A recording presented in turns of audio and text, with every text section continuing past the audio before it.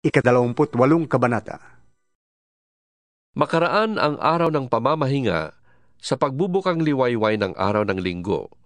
Lumakad si Maria Magdalena at ang isa pang Maria upang tingnan ang libingan ni Jesus. Biglang lumindol ng malakas. Bumaba mula sa langit ang isang anghel ng Panginoon. Iginulong ang batong nakatakip sa libingan at naupo sa ibabaw niyon.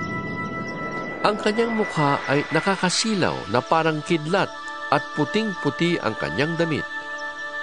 Nanginig sa takot ang mga bantay nang makita ang anghel at sila'y nabwal na parang mga patay.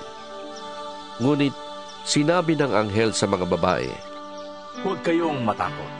Alam kong hinahanap ninyo si Jesus na ipinako sa krus. Wala na siya rito, sapagkat siya'y muling nabuhay, gaya ng kanyang sinabi. Hali kayo. Tingnan ninyo ang pinaglagyan sa kanya. Pagkatapos, lumakad kayo agad at ibalita sa kanyang mga alagad na siya'y muling nabuhay at mauuna sa inyo sa Galilea. Makikita niyo siya roon. Yan ang balitang dala ko sa inyo.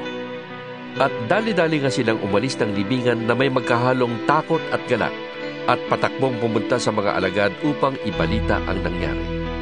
Ngunit sinalubong sila ni Jesus at binati. Lumapit sila sa kanya hinawakan ang kanyang mga paa at sinamba siya. Sinabi sa kanila ni Jesus, Huwag kayong matakot. Humayo kayo at sabihin sa mga kapatid kong pumunta sa Galilea at makikita nila ako roon.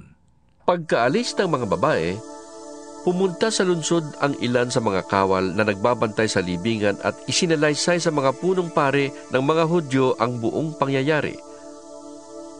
Nakipagpulong ang mga punong pare sa mga pinuno ng bayan at nagkasundo silang suhulan ng malaki ang mga kawal. At ang mga ito ay inutusan nilang ganito ang ipamalita. Habang natutulog kami kagabi, dumating ang mga alagad ni Jesus at ninakaw ang kanyang bangkay. Sinabi pa nila, Huwag kayo mag-alala. Kung makarating man ito sa gobernador, kami ang bahala. Tinanggap ng mga bantay ang suhol at ganun nga ang kanilang ginawa. Kaya magpahanggang ngayon, ito pa rin ang balitang laganap sa mga Hudyo.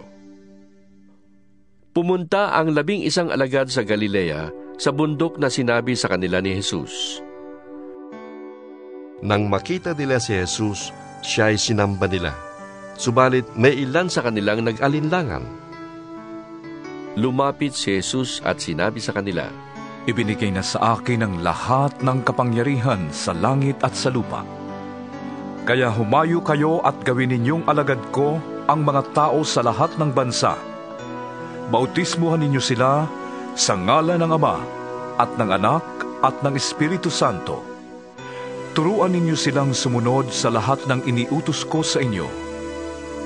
Tandaan ninyo, ako'y laging kasama ninyo hanggang sa katapusan ng panahon.